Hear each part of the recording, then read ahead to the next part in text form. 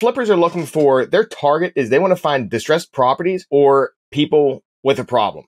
So first we need to look at that. It's like, okay, if I'm flipping a house, what am I looking for? You got to determine what your target is. So what we're looking for when flipping a house is people with financial problems. They might have lost their job or they just can't afford to make their payment and they're losing their house, maybe pre foreclosure, going into foreclosure, things like that. Like they're losing the house, can't afford it. Most of the times that property is going to be distressed because they don't have the money to fix it anyways. So that's number one. Number two is somebody in divorce. A lot of times in divorce, people need to sell the house because it's jointly owned. And a lot of times they just want to sell it quickly, convenient. And also sometimes they just want to screw their spouse. Like they just want to get rid of it. So that's a problem there. People in divorce are stressed out the problem they have is they need to sell their house and there could be issues in their relationships that is their problem that you can help them solve and just buy their house from. Third I see is people that inherited a house. So think about this. Say Joe's out there working nine to five, paycheck to paycheck and can barely make his bills. He inherits a house from his parents, which most people think inheriting a house is a good thing,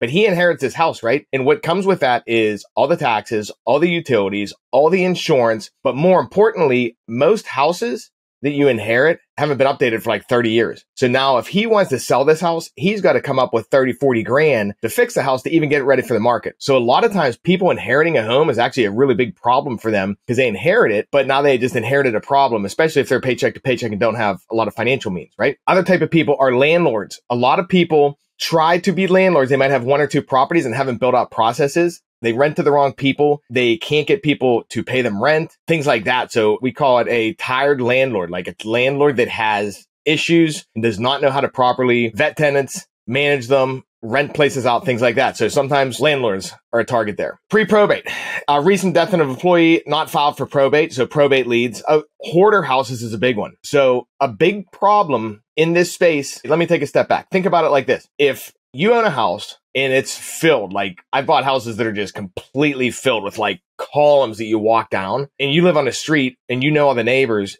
do you want to list your house on the market and have all your neighbors walking through your house, seeing how you live? There's nothing wrong with being a hoarder. Like everybody's got their thing, but a lot of times hoarders, that's their problem. They're embarrassed and they don't want to sell their house publicly. And a lot of times with hoarders too, you get into the house and you find all these repairs that need done because their house has been stacked with stuff all through the house for years and you can't see what's behind it. So a lot of times in hoarders' house, especially in Pittsburgh, I see their foundations are always usually cracked, not because they're a hoarder, just because they didn't notice it and were able to fix it in time because the whole wall, is, especially the basement's been covered. So hoarders are one there. I purchased properties also at a discount from people that just wanted convenience. They're like, hey, you know what? I'm moving from Pittsburgh to Washington to go live with my daughter. I don't want to list it. I'm willing to give you a discount. They gave a medium discount though. It's not like a 70% ARV discount. They're like, I'm willing to give you a discount to just not have to deal with anything. So I purchased it because I buy them for rentals. That might have been like 85% ARV, maybe 90% instead of 70%. But that is also a distressor depending on the dispos, right? They may not be a huge fit for a flipper because a lot of times their properties aren't beat up. And then last is like, say someone lost their job